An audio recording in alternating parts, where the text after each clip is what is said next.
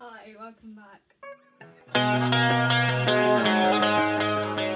I wanted to show you me making suspenders because they're kind of easy. They're going to be the ones with the cross at the back and just that going bit like if you're using a following sort of thing, you can use it for the Song.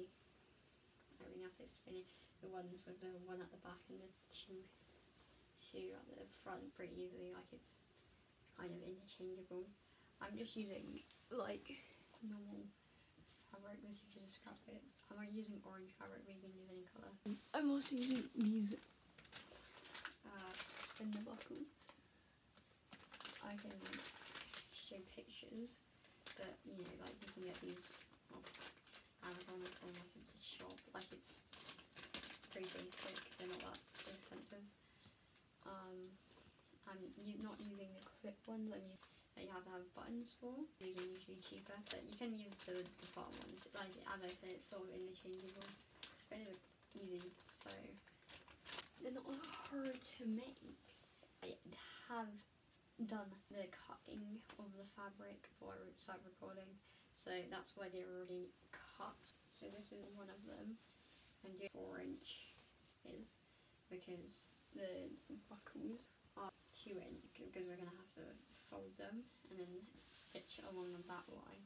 So that's how they're gonna end at two inch. I think they're like thirty four inches because I had to measure, which I I will do a demonstration of. I I had like not a long enough fabric, so I just cut another piece off and sewed it off. And I'll put this the one with the seam at the back because you're not going to see it at the back. Um, I also did it with this one. So first of all, I'm going to demonstrate how I how I got to these these parts. And second of all, I'm just going to sew down this edge, and I'm going to go onto the buckles. I measure in inches. This measuring tape has centimeters and inches, um, but I'm measuring in inches because I find inches easier and also it means you don't have to count to a honestly high number. Um, I'm just gonna. You just have to do one and then duplicate it because obviously, you know, it's the same size. You can take like you know like three or two measurements just to make sure that it's certain.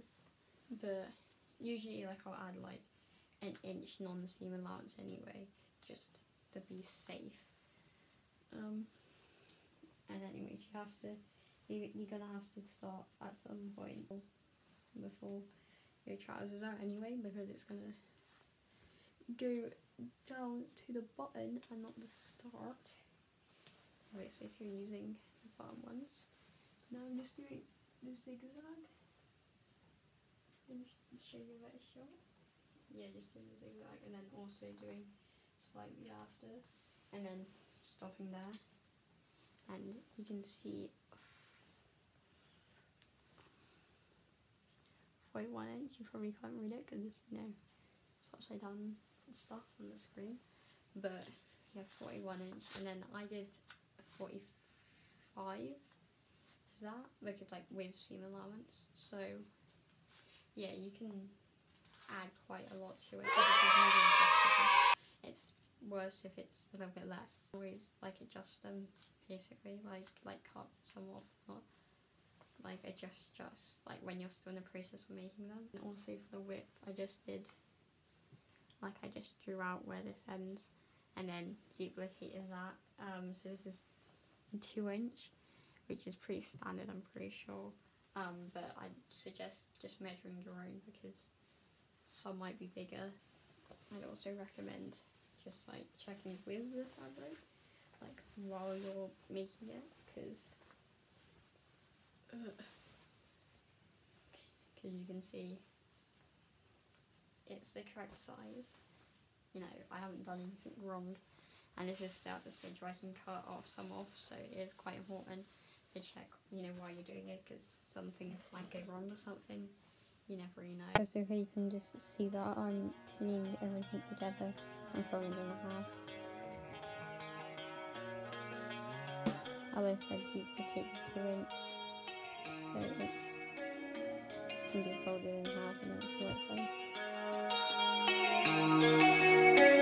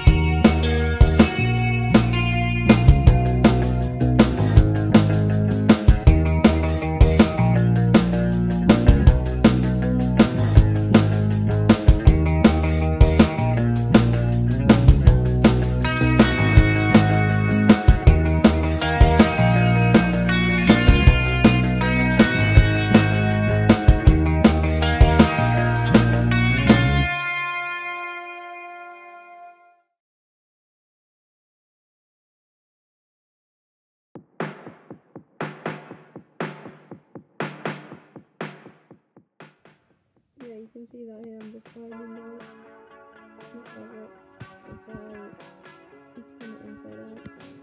Um, try and get this front bit seam on. Yeah, it's pretty important. So just make sure it lays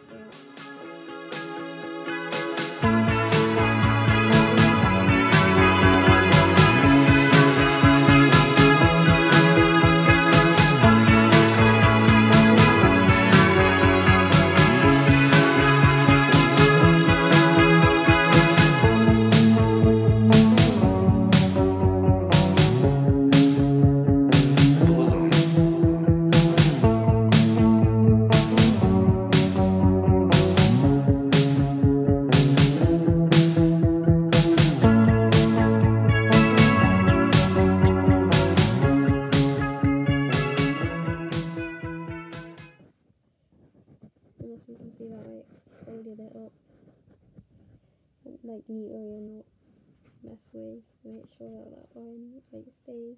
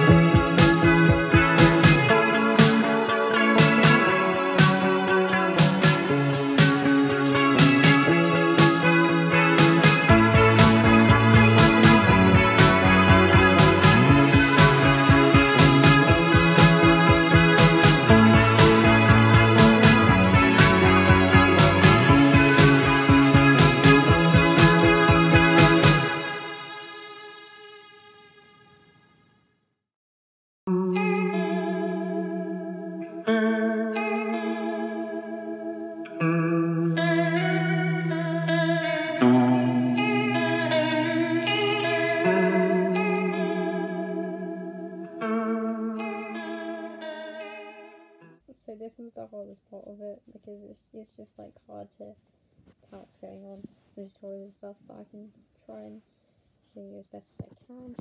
I um I put the vegetable thing in um the, the tree.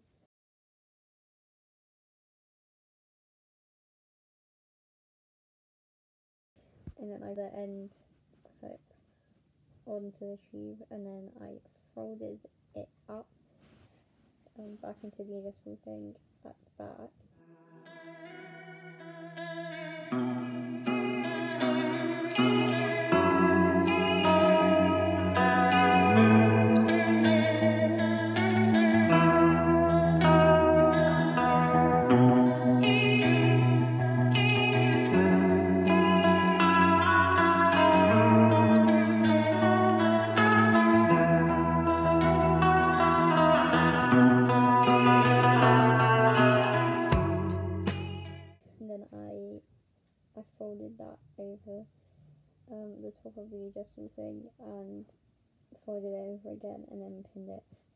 along that line.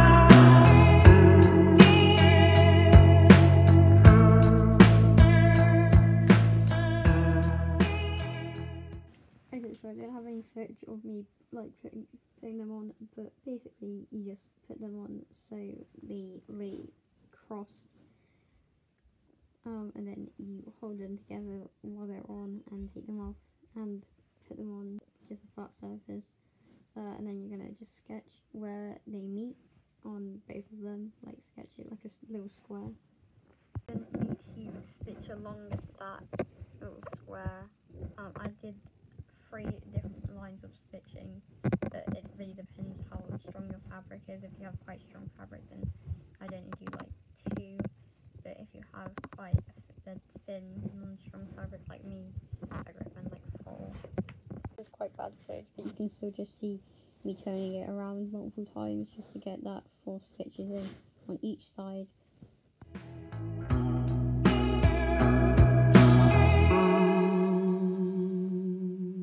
The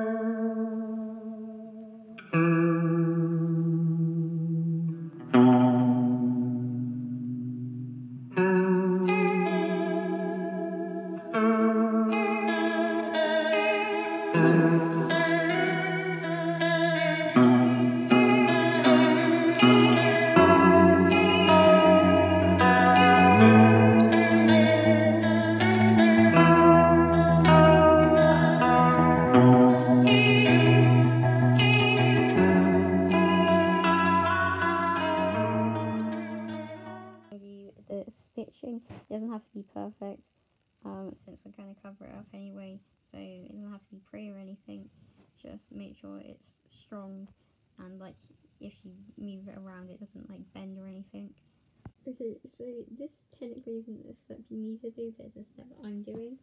Um, I'm adding a little drawing thingy to the back. So what I'm going to do is I'm just going to trace out the where, like on the outside of the square on a piece of paper, and then I'm just going to like join them up um, after, um, and then use it as a template to draw around. Um, you kind of want it to cover all of the stitching, but if it doesn't, you can just put like fabric there.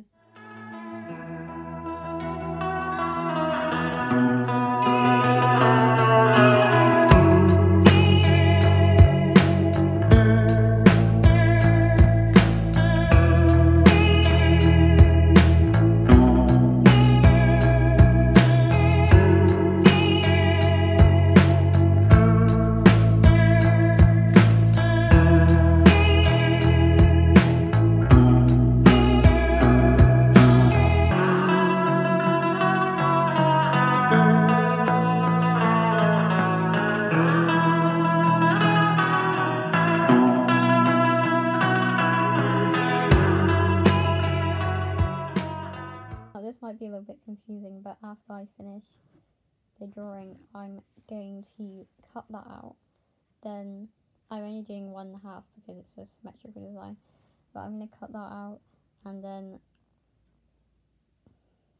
and then use the template of the the square as we discussed earlier. Trace out again and then trace the sign um how I want it so both sides uh, and use then cut that out and use that as a base, which I'm going to trace out onto another piece of fabric, some like strong fabric, so it stays it in its own shape. Um, and then I'm just going to cut out the the designs with different fabrics so I can sew that all together.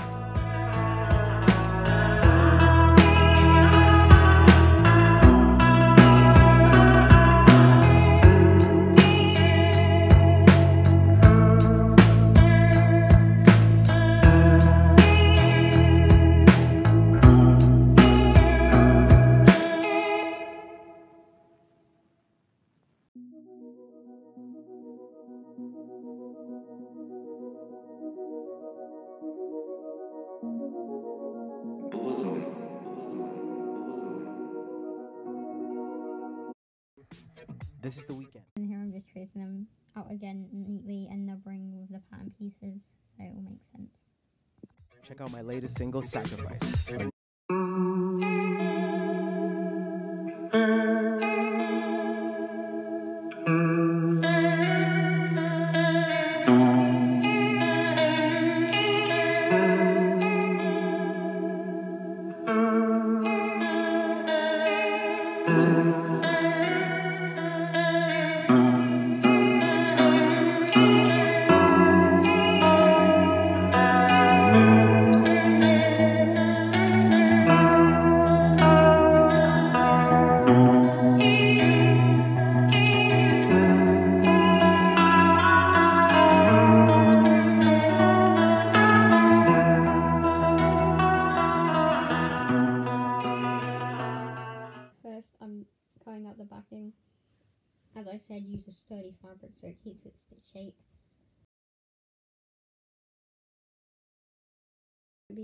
So don't like worry about making it like the right color or anything because it's just going to be all kept inside.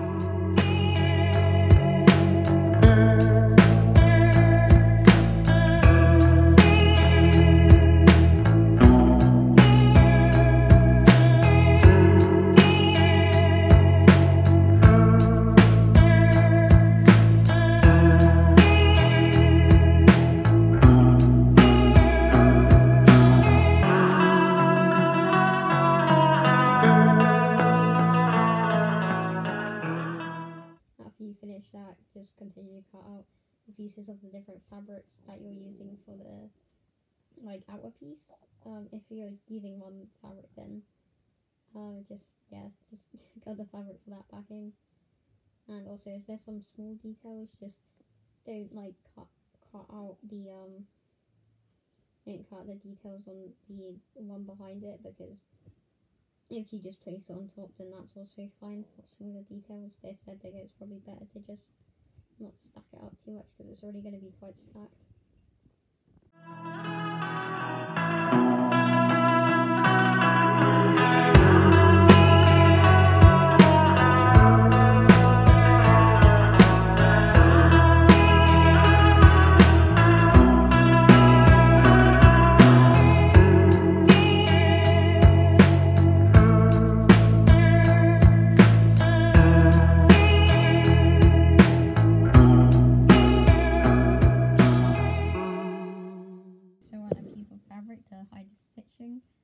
Um, this fabric is going to be seen if your pattern doesn't fully uh, like cover up the stitching. So like it has to be something like kind of nice. Um, if your pattern does cover up the whole stitching, then don't bother with this step because it's more just to hide the stitching.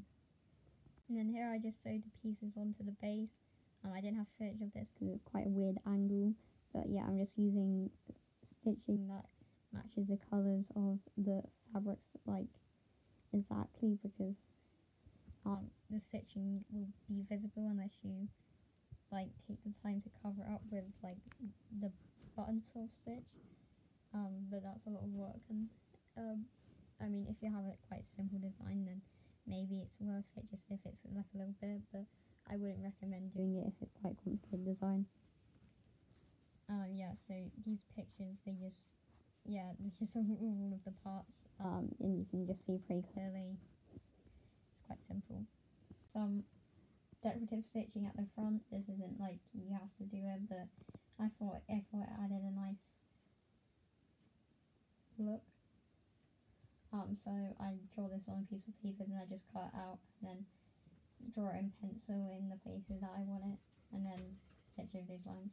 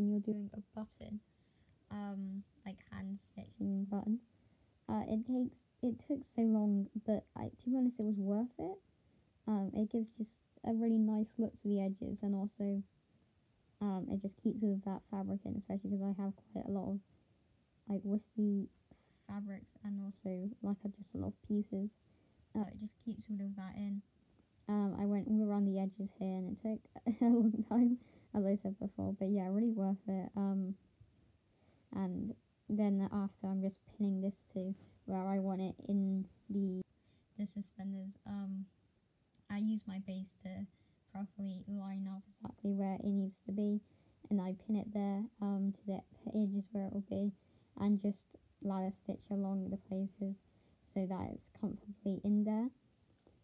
After that, I go on the behind, which honestly you don't need to do, but I just did it because I thought it'd look nice, and just uh, ladder stitch around um, some pieces to hide.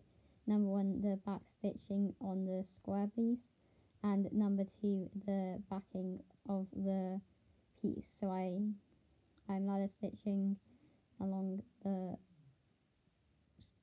suspenders and the button um, and the back thingy. So that it's also held together a little nicer. Um, so it's more secure,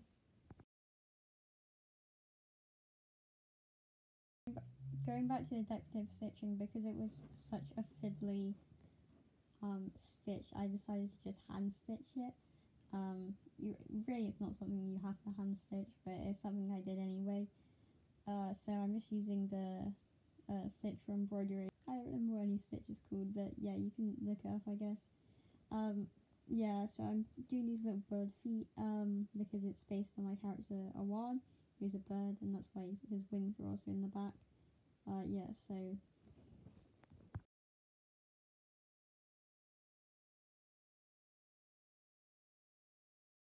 Then at last, before I wear them, I'm just ironing them so they're nice and neat, especially to flatten that tube. Um, yeah, you do have to iron them after every wash since I've had them for a while now. Um, but they're never too bad, and so just be aware you have to have access to an iron. But that's about it.